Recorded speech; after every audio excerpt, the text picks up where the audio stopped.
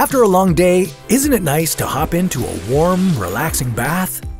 You can soak up some suds and spend an hour or so in there. Now, what about spending 167 hours more? What would happen to your skin? How wrinkled would your body get? And how long is too long for a bath? This is What If. And here's what would happen if you didn't leave your bathtub for a week. While resting in the water, your hands and feet start to become wrinkly compared to the rest of your body. We used to think that the skin and hands and feet absorbed water and that's what made them wrinkle, but research has shown that vasoconstriction, a narrowing of the blood vessels in our fingers and toes, is the real cause. It takes about 5 minutes for skin to start wrinkling. But how much more intense would those wrinkles become if you stayed in the water for a week? Could they become dangerous? Okay, before we get to those scary scenarios, you can rest easy for a bit. Enjoy yourself, after all, this is a bath, and that's kind of the point. For the first couple of hours, you can bring your rubber ducky and play in this nice warm water. Yeah, you'll notice wrinkles starting to form, but there's nothing to worry about. Yet.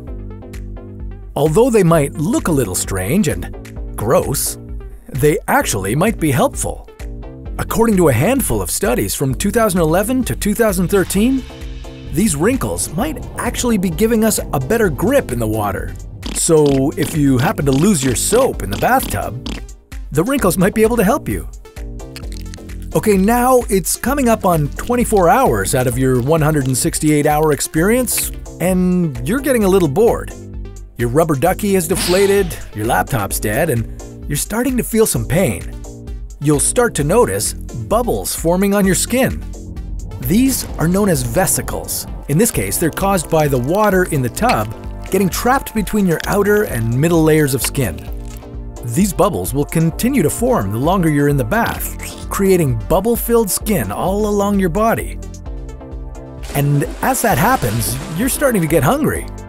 Well, it's unlikely you'll have access to servants while you're in this bath, so your best bet for getting fed would be with a tube filled with all the nutrients you'd need. But then, you know what comes next. You'd inevitably have to go to the washroom.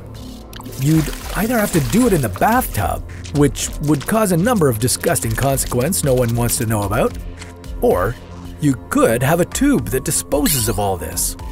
So yeah, let's go with that. But as you've been thinking of all these crazy ways to cope with your bodily functions, you've been ignoring those bubbles forming on your skin. As time has gone on, they've been slowly festering and growing bigger. This will keep happening until a couple of days into your bath marathon when they begin to burst. Okay, so now your skin is starting to peel away, and if you haven't been disposing of your waste, you'll be in a pool full of fecal matter with open sores all over your body. Yes, this is the perfect way for you to get infections all over your skin. Glad you asked. Now, if this isn't enough to worry about, a couple of days into your bath, you'll start developing bath sores. These are similar to bed sores, which happen when you lay in bed for far too long. Since there's not much space to move around in your bath, it could also tear your new skin bubbles, creating even more sores. As you're stuck in this bath, most likely in incredible pain, you'll realize that these sores have been distracting you from something else that's happening. The water has been getting colder the whole time. If you haven't been adding in any more hot water and you don't have any way to sustain the temperature, your bath could get dangerously cold. If your bath temperature gets down between 21 and 26 degrees, then spending just a couple of hours in the tub could make you pass out. Luckily, it can't kill you as the temperatures just aren't low enough, but if it goes any lower, you could end up dead. Sounds like unless you're heavily monitored with proper nutrition, consistent fresh water, and some way to go to the bathroom, this'll end very badly. I gotta admit, this is a pretty awful way to spend a week. I mean, who planned this? Well, definitely not our friends over at Monday.com. If we were using their website, maybe we'd be able to coordinate the building of a spaceship rather than suffering in a bathtub for a week.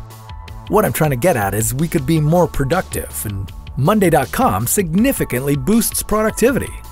Not just for you, but for your entire team.